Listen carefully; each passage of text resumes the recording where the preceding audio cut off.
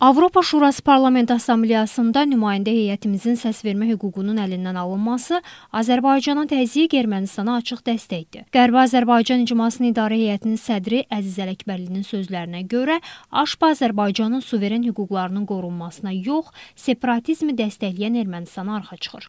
Qurumda fəaliyyət göstərən bəzi Avropalı nümayəndələr vətəndaşları olduğu ölkələrin destruktiv siyasətlərini bu platforma vasitəsilə nümayiş etdirir. Avropa Şurası Parlament Assambleyasında Assambleyasının, yəni AŞPA-nın Azərbaycana qarşı son təxribat hərəkətləri nəinki bu qurumun səlibçi, islamofob mahiyyətini bir daha ortaya qoydu, eyni zamanda onun İslam dünyasına qarşı yaradılmış missiyanı beynəlxalq rəylə hesablaşmadan həyata keçirən bir qurum olduğunu təsdiq elədi. Həmin dövlətlərin əlində 44 günlük müharibədə və bir günlük antiterror əməliyyatında şəhid olan bütün Azərbaycan oğullarının qanı var.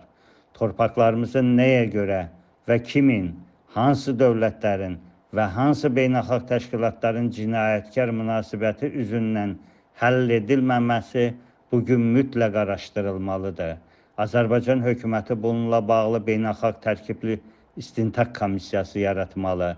Bu məsələni kökündən araşdırmalı və nəticəsi ilə bağlı həm özü hökm çıxarmalı, həm də beynəlxalq məhkəmələrə müraciət etməlidir.